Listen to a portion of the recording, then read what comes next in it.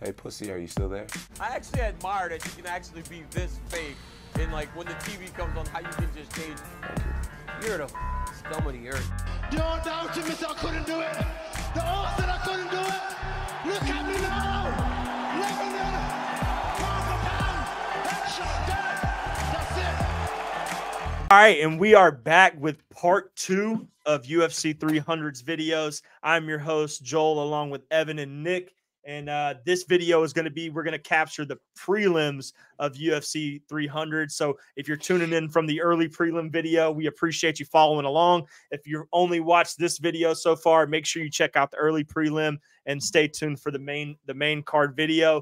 Again, like always, don't forget to subscribe to the channels, like the videos, helps us grow, helps us move. We are cooking right now. We've had fighter interviews out the ass, so shit's growing, boys. We're we're getting there. Uh, but I don't want to waste any time because again, this is the greatest fight card of the year, um, without of a all doubt. time. Fight, best fight card of Yeah. all time. So I think we No go right competition. into this to kick off the prelims, boys. We have a prospect in himself. Um, big fan of his, Diego Lopes Yeah. fighting Sodiq Yusuff to kick off the prelims, kick off that 300. Um, number 13, Sodiq Yusuff versus Diego Lopes. Yeah. Um, stylistically, it's a great fight. Diego Lopes is a very, very Menace. solid prospect. He's a hell of a fighter. Sodiq Yeah. Yusuff is also, you know, top 15. So this Yeah. gives Diego Lopes a rank if he wins. So there's a lot of implications with this fight um, uh, going into this. Uh, but yeah, I'll let any of you guys want to talk about it too. I'm very big on Diego Lopes, but I do like Sodiq Yusuff. So I'm, I'm kind of 50 50 on it, but I'll let you guys talk about what you guys want to talk about too. So Go ahead, Nick. Talk, let it, give us your uh, kind of thoughts on it. Got you guys. I definitely think that Diego Lopes deserves to be ranked, especially Yeah. after his past couple fights, man. This is the test that he needs. It's not a big jump for him. I don't think it's going to be a, even a big change of how he fights, how he trains for this. I got him winning this fight. I looked up a lot of information on the other guy as well. I just I say Diego Lopes just being a straight up savage in this fight. I see. I think he's better skilled in every aspect. And uh, we see this, and then we see him get this dub, and then you see him do some big things in the future, man. I love him in this division. Yeah, I I, agree. I agree 100%. Here's what I'll say about Diego Lopes. Um, Diego Lopes made his UFC debut on short notice against Movsar Evloev, yep, but who's right? top which eight, right?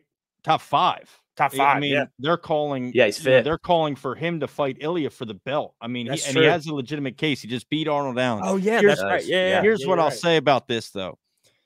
That was on short notice. That was a decision win for Evloev. It was unanimous, but like honestly, Diego Lopes lost that fight, but won the fans because he took Yeah. that fight on days' notice. That's Like like crazy short notice, went against one of the most dangerous fighters in the featherweight division, and not only held his own but threatened.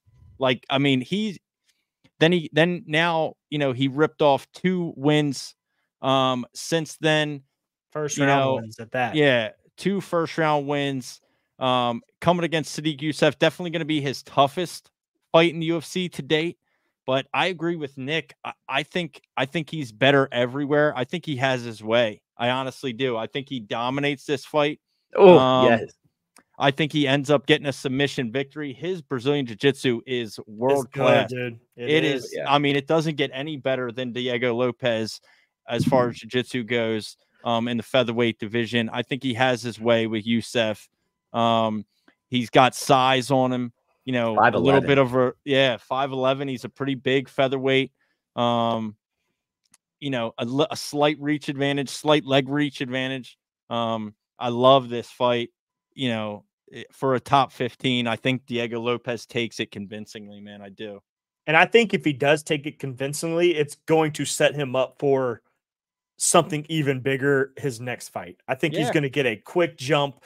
You know, if he wins this one, you know, in the first round in, in a crazy fashion, I think Yeah. from there the UFC goes, okay, we have a superstar here. Um, we have another guy in this featherweight division who can make a name for himself. Let's Yep. push him right into that top 10. Let's get him a top 10 fight. Let's give him Yair Rodriguez. Let's give him Movsar rematch. Let's give him Yeah, I'd like know, to see that Movsar Evloev rematch. yeah, let's let's give him, you know, because you know, I think to be honest, it like a win in the top between 10 and 15 is it's a perfect setup because Yair is obviously coming off two losses. Yeah. You know, he just lost to Brian Ortega. So the next person who fights from the, the 15 to 10 ring should fight Yair, in my opinion. So um, and then we also you Wow. also have Calvin Kattar will eh, fighting Aljo. Uh, so you know, you did big things there too later Yeah. on. Um, Brian Yeah. Ortega, big win. So that that I mean, this featherweight division might not be getting talked about like it should um, with a lot of the with this top 10 coming up. Um, Recently, so you know, there's a lot going on here. But I also agree with you, fellas. I'm gonna s- I'm gonna join the join the band, and uh, I'm gonna go with Diego Lopes by finish. Two in a row, distance, three so. for three. We all Yep. agree. I love it. oh Yep. yeah, And then the next one, now as Murky said earlier, this, This is is not one you want to. Yeah, this is different. This is different. This is different, Hold on, brother. brother. Hold on, brother. Hold on, brother. This is Make different. women's MMA great again. Special teams, special plays, different women. Yeah. Special teams, special plays, special players. Different Hold on, brother. This one's a little different, boys. We have Yeah. uh the Kayla Harrison making her UFC debut against a legend, the legend, Holly Holmes, um, who is still top five ranked uh, women's bantamweight after Yeah. her Um, long career. Which, Yeah, not not saying so much. That's literally the worst division in combat sports, but it's fine. but there's a lot of implications in this fight, and one Slice. one big thing that's being talked about a lot is the fact that can Kayla Harrison cut that weight, make that bantamweight to- that bantamweight, um, and uh, you know if she does, will she be able to you know go Be out the there same. be the same, and beat someone who is is you know yeah Holly Holmes may have a little age to her, but let's not forget she's one of the she's one of the most technical strikers in that bantamweight division of all time. Um, Yeah. so it, it's it's definitely a big fight for Holly Holmes. If she if she beats her, I mean, boys, if Holly Holmes beats Kayla Harrison, this is this is big for that division. well, it's um, it's kind of like uh, you know, Kayla Harrison's coming from PFL or Bellator. PFL. Um, I mean, it just goes to show, like, uh, like it's another argument that would that would go to show you just how far ahead the UFC is Correct. talent wise above these other, you know, tier one promotions. I mean, it's not even close. If Yep. you know, but Kayla Harrison's an Olympic gold medalist. I yeah, mean, but let's not note the last Olympic judo gold medalist to fight Holly Holmes ended up face planting. she wasn't a gold. She wasn't even a gold medalist. She was a medalist, not a gold medalist. Was she she's not? a I thought Ronda Ronda Rousey- Rousey Ronda was Rousey? Bronze, bronze, or something. Oh, okay. Yeah. I thought she was a judo gold. Um, So- but anyways, let's let's not forget the last judo Olympian. We'll just call it Olympian. Yep. to Yep. Holly Holmes, um, ended up face face planted on the canvas. So um, yeah, again, big fight for Kayla Harrison, big fight for Holly Holmes. Um, I'll start my pick. I think Kayla Harrison gets it done. Um, her power is just unique. If, if she's able to even get a clinch on Holly Holmes, I think she gets her down, takes her down, um, and is able to you know finish or do whatever she needs. But if if she's not smart enough to get her down and stands with Holly Holmes, you just never know. I mean, it, you just never know what could happen with that. So um, that's my pick. I got Kayla Harrison. okay. Yeah, I like I like Kayla Harrison in this one also. Um here's the thing, man. th- This fight is where this card to me starts to make me nervous because we've seen too many people missing weight, too many things falling apart. Yep. Um, we're six days away. None of these fights have been canceled yet, right? No injuries, no, no, nothing weird. Um, I I pray it's not too good to be true. And this fight to me, Please. that you know, Kayla Harrison fought at featherweight at 145 pounds. I believe she even fought at a, a women's lightweight division at one time, 155 pounds. Yeah. Kayla Harrison's huge. Um, well, that's eh, I apologize. That's that's kind of fucked up to say, but you know what I mean. Listen, brother, how big is she? Um, if you can say it, I can say it. Uh, yeah. So Kayla Harrison, I just hope she makes weight, and I think if if she makes weight, um, I think she has. I mean, all the tools to beat Holly Holm. She's making a UFC debut on the biggest UFC card in history. Uh, is it too much for her? I don't think so. Both of them are a little older. Um, yeah, I like I like Kayla. I'm gonna go with the debut. Very debut. rarely does the debut work out. You know, Yeah. but but I'm gonna go with the debut. It worked for MVP. So, It worked yeah, for. Michael Venom Page against Kevin Holland. I mean, but let's not forget she did lose to Larissa Pacheco in the PFL finals. Yeah, well, And- Pacheco's uh I mean, she should be you She know, should be in the UFC. yeah, they just don't have a division for her. Yeah, but then again, this is just like Kayla Harrison. Like it would be so much weight to cut for Pacheco. Like Right. you know, you'd almost have to bring Amanda Nunes back and and have them go to Fight, bring weight to win it. Cyborg back, something. Cyborg, Yeah. like yeah, there's Let's talk Cyborg. about making women's MMA great again. What you need to do, UFC, is sign all of the best women and put them in the biggest division, and then let them eat, gain whatever weight they want to, and then let them throw hands at This their most old school. powerful. Well, do you remember the point Nick brought up not that long ago? Let them use When- steroids. Let them all do drugs. yeah, Yeah. I'm telling you, man, Yeah. it'd be good. I mean, Yeah. let let them get big. You no know? commission would ever sanction that, but I think like fuck them. You know what I mean? We'll do it. know? We'll do it. Do it on the early prelims. Um, do it on UFC Fight Pass. You know, try to like be chill about it. You know what I mean? Please. Uh, make it like exhibition fights if you have to. Just pay them handsomely. I mean, but we Um, can also also 'em say this fucking do- worst case scenario. Worst case scenario, she does miss weight. Fights get fight gets canceled. Then we just move Jalen Turner and Moicano up to the prelims, Yeah. and it starts the night off. So Yep. either way it goes, you just can't go wrong with it. But I I, don't want to see this fight get canceled. So Yeah. I uh, got, and uh, then, go ahead. You're good. I got uh Kayla Harrison winning because Holly Holmes isn't doing what Holly Holmes has been known for. She's old. She's not finishing people. It's not going to happen. I don't think at all. I agree. Fair enough. So now we got our our next next fight of the night, man. Uh men's featherweight, Calvin Kattar versus Aljamain Sterling making his debut um at featherweight uh, Yeah. against a guy who's also a killer. Um funny story, we just got had a great interview with a guy over at the New England Cartel um who fights and has is trained with Calvin Kattar and and um he was kind of saying like we're he's riding with Kattar hard. He hopes he finishes Sterling. And uh, I think we all are on kind of the same page here too. Maybe I don't know how y'all feel, but this is a tough match for Aljo.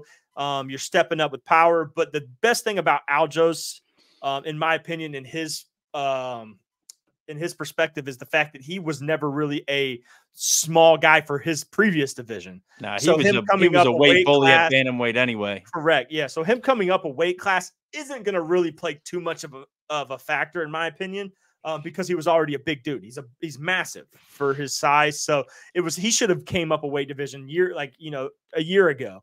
Yeah. Um, but now he gets his first fight at, at featherweight against Calvin Kattar.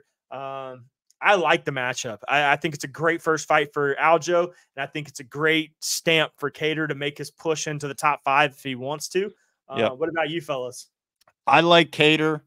Um, Kattar has 91% takedown defense in the UFC. Yep. Um, which against a guy like Aljo that's going to try to, you know, close distance and take you down, um, that's a that might be the most important stat of the fight.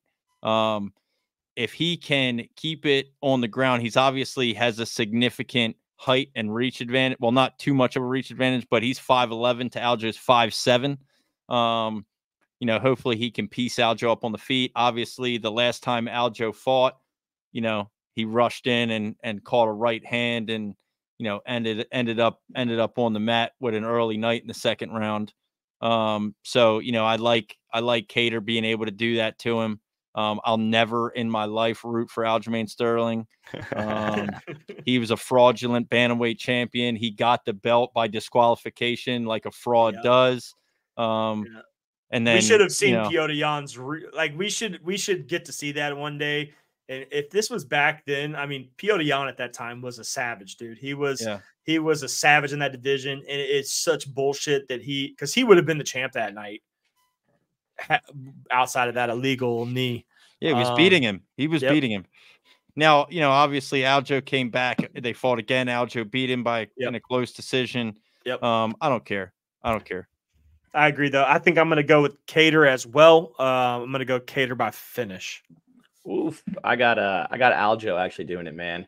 I had this weird theory about him that like he didn't have a choice to be in this weight division.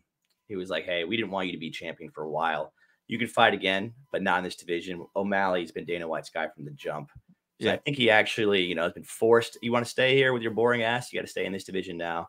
I think he wants to get a contract extension. I think, I mean, he wants to show out. So I'm Yeah. going to have him taking this one. It's fair. be put on. He's an ex champion.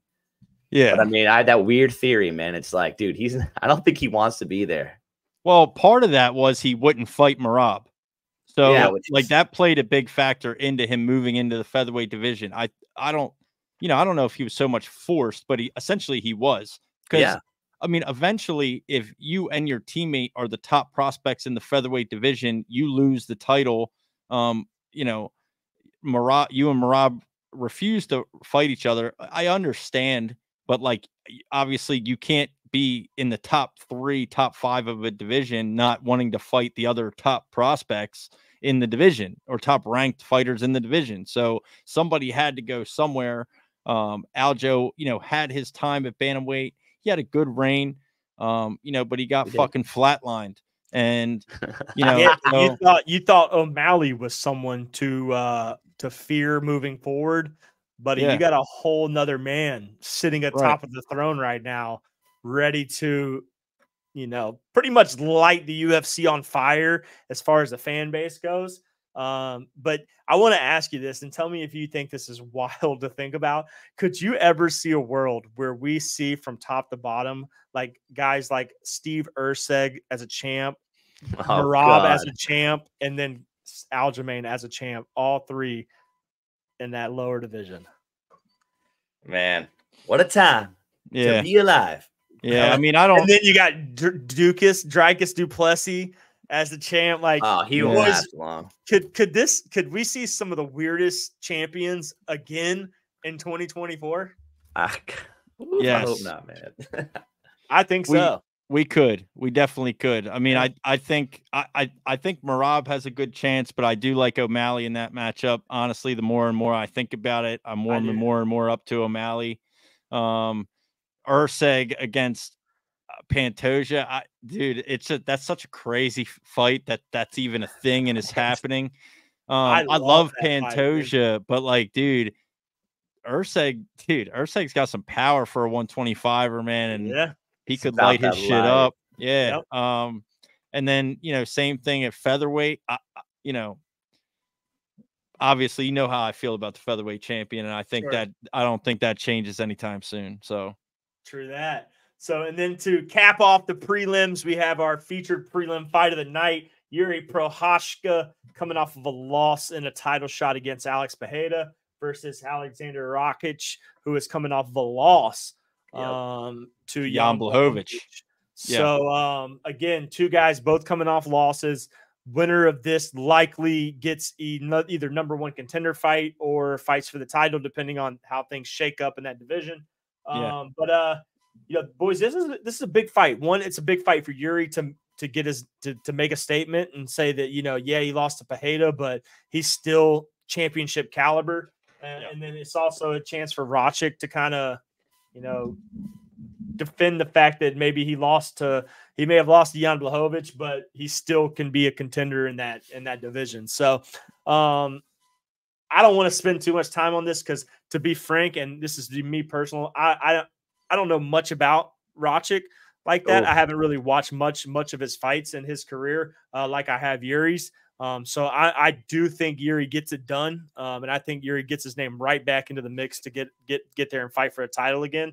Um, but I don't know how you guys feel if you guys want to add anything to that. Yeah, man, Uh, I got Serbia power, dog. Yeah. I got I got Yuri losing. You got Yuri Yuri losing? Yeah, man. I, I I didn't know much about um Aleksandar at all. And I look at his record, dude. He's a fucking beast. Yeah, he's a and uh, savage. I, I think Yuri's a little overrated, and I think I might see that. you think I Yuri's agree, though. overrated? Yep. I've I've thought it for a while now. I thought him beating Gro- Glover Teixeira was not impressive. That man was old as fuck. And I, I kind of that- agree with that. Yeah. Yeah. I don't And, think uh, that he he was was- that's also a good losing win a lot too. Yeah, But- he was losing. I don't. I just. I don't. I don't know, man. I've always thought like that wild play is good. That was good when you were fighting in Rizin over there in Japan and stuff like that. But for as the UFC, I mean, he's had some crazy knockouts coming in. I just, I don't know. I I'm, I haven't been as impressed as I should be with him. So I got him taking this dub and losing, boy. Fair enough. Fair.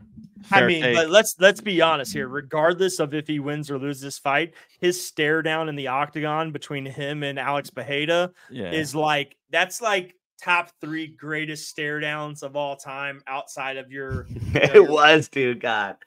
like especially your- when they grabbed each other's shoulders. yep and looked each other dead in the eye like that. Yeah. That's that's an ice cold stare, man. And Yeah. Yuri is just one of those guys. That's why I like him because he, you know, he may not be like you said, he may not, he may, he maybe fight wild and shit like that, but like there's no doubt about it. When you step inside the step inside a cage with another man and you look across from them and they don't even blink and they're locked in and staring you straight in the face, like there is an intimidation factor that plays a big part of fighting another man like that who is looks intimidating and it will literally like is is ready to die inside of the inside of the octagon. So like Uh, I, now you're making me go back on my word because I just looked up a random stat for him. He has 25 knockouts. What the fuck? Yeah. yeah, I mean Yuri Well- Yuri does it, you know. He's Yeah. been there. Yeah. He's Yeah, I like for me personally, I like Yuri in this. I think this is the bounce kind of a bounce back fight for Sure. Yuri.